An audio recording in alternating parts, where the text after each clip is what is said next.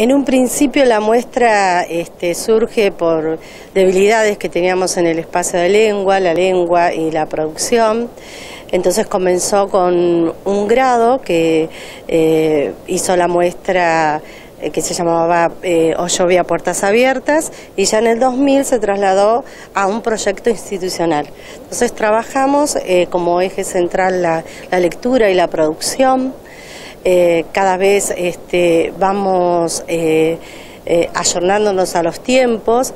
Y, y, bueno, y surge desde la biblioteca de la escuela, desde los bibliotecarios, Graciela Guantay y Jorge Gavilán, la propuesta de hacer una invitación a un autor, hubo, bueno, que, que, le estuvo comentando a ustedes, toda su bibliografía y bueno, seleccionaron eh, la literatura de acuerdo a los intereses y las edades de los chicos de la escuela.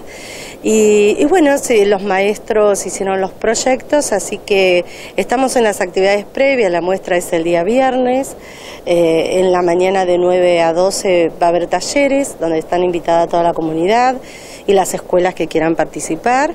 Y en la tarde de 14 a 16.30 están, digamos, el evento artístico.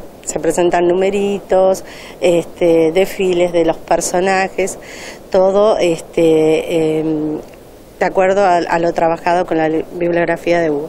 Y sobre todo, bueno, la importancia eh, de esta propuesta de poder acercar eh, al escritor a los chicos que la verdad que bueno, ha sido desde ayer, están muy movilizados con la visita que tenemos en la escuela.